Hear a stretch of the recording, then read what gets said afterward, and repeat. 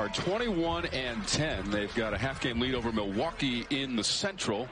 And the Hawks own the opening tip. They're in the traveling Red Bulls in the white. And here we go from United Center. So great to have you with us for Hawks basketball.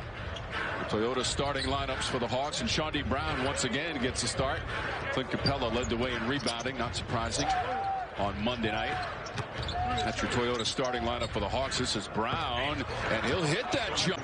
He looked a little out of sorts in the beginning of the game on Monday, but came on strong for the Bulls. With a third-year man out of North Carolina who had 13 points against the Hawks. Hey, game would be a tie ball game.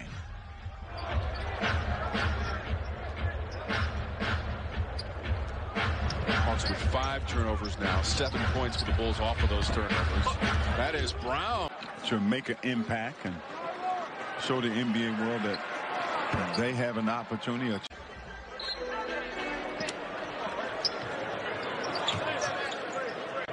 So again, Iwundu is in there, along with Capela, Hill, Brown and Mays. Here's Brown launching a three and hitting it. Chaundee Brown. 34, I think 34 35 rebounds that night. My word.